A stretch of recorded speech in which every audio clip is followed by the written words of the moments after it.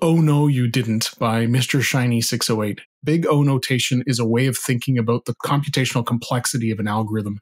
O1, that means the computation runs in constant time. It could take a million years, but if it's always a million years, regardless of how big the chunk of data is, then we just simplify that to order one.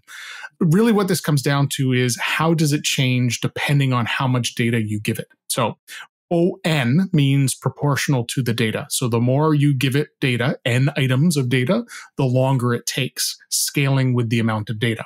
I could have a constant time algorithm that runs slower than an order n algorithm for some size of data, right? So I might be able to run through 100 things faster than my constant time, but as we approach infinity, order n should take longer. But there's a difference between theory and practice. And big O often gets mistaken for measuring speed when what it does is it expresses how performance degrades as the size of the data increases.